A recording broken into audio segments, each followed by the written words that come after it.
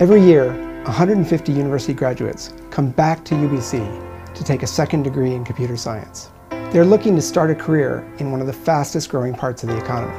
So one of my close friends from high school did software engineering, and as he was walking out of his degree, he had a job offer from Apple in San Francisco, Apple in Paris, and Google. All of us have heard this story. One study estimates that nearly 200,000 software development jobs will need to be filled in the next decade in the United States alone. The question is, how do you get the skills you need to start a career in software development? You get very quickly mired in a lot of the muck without actually learning what underlies everything, why everything works. I remember Googling things like how to learn Java, and it's just a mess. It's really difficult to figure out how to learn something properly. Based on the courses that are the core of our program, we've designed an integrated set of edX courses that will take you from typing your first line of code to your goal, whether that's starting a new career or enrolling in a face-to-face master's program. In this MicroMasters program, you will develop the practical foundations of expert thinking in software development. You'll learn how to read and write programs the way experts do, and you'll learn how to learn new technologies the way experts do.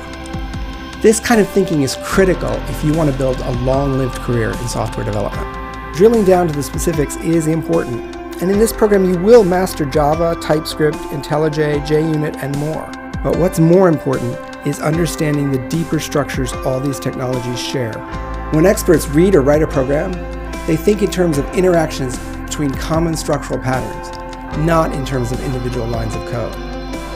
When they learn a new language, they use these kinds of common patterns to quickly see similarities and differences with everything they already know. In this MicroMasters, you'll learn the foundations of this kind of expert thinking from some of the very best minds in the field. This program, getting started with this kind of thinking, will launch you on a lasting career in a vibrant and evolving industry.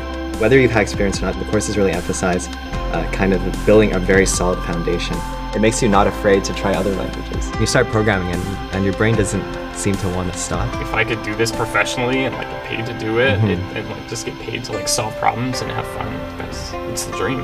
Programming is fun. I mean, we're all really excited to be in this field, and if it's something that you might like, why not just try it?